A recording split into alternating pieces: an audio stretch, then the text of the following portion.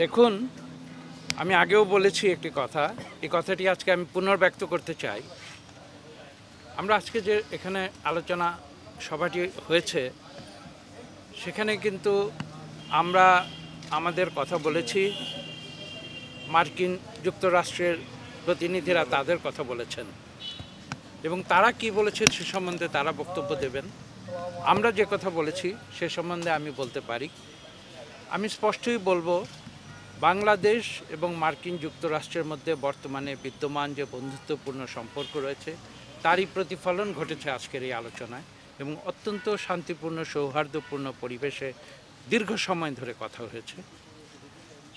আমরা স্পষ্ট করে বলেছি যে আমরা বিএনপি একটি উদারনৈতিক গণতান্ত্রিক রাজনৈতিক দল এবং আমরা গণতান্ত্রিক প্রক্রিয়ায় বিশ্বাসী।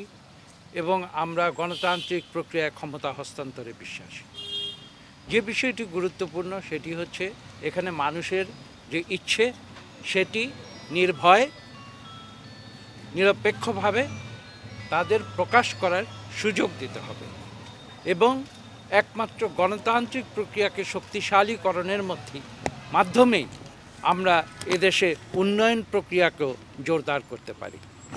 বিশ্বের বিভিন্ন স্থানে আজকের যে পরিস্থিতি সেটা আপনারা লক্ষ্য করেছেন, সবচেয়ে গুরুত্বপূর্ণ যেটা, সেটা হচ্ছে শান্তি এবং গণতন্ত্র এবং মানবাধিকার রক্ষার বিষয়ে আমাদের যে বক্তব্য, সে বক্তব্যগুলো আমরা স্পষ্টভাবে তুলে ধরেছি এবং এটা বলার অপেক্ষা রাখে না আজকের বিশ্বে।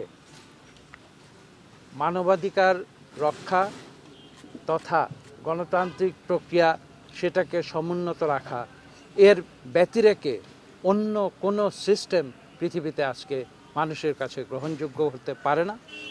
এটাই হচ্ছে আমাদের মূল বক্তব্য।